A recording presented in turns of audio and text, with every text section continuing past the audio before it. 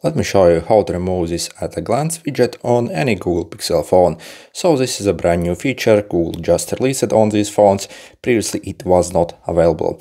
So to remove it, simply click and hold on any blank space of your home screen. So click Home Settings and click on the yeah, range over here and you see you can disable it over here. As you see, no more. And for example, you can drag something there in its place if you want to. Absolutely awesome. Uh, by the way, this feature, if you do not see it there in the settings, is only currently available for the Android beta uh, basically versions, so the QPR 3.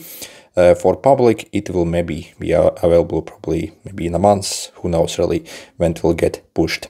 But yeah, so if you basically want this feature, your only option uh, at the time of filming is simply enabling the beta updates on these phones. But again, it should be available soon basically for all users.